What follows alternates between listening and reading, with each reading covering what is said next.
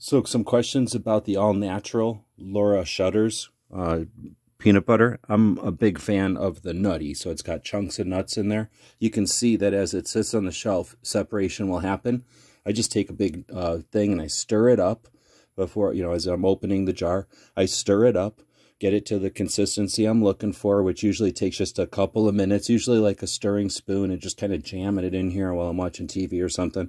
It gets all stirred up uh, whenever I use it the first time. Uh, it's room temperature. Then I put it in the refrigerator. Now, I know some people are not a fan of that, uh, but I put it in the refrigerator, and by the time I use this full-size jar, the large-size jar, it's gone.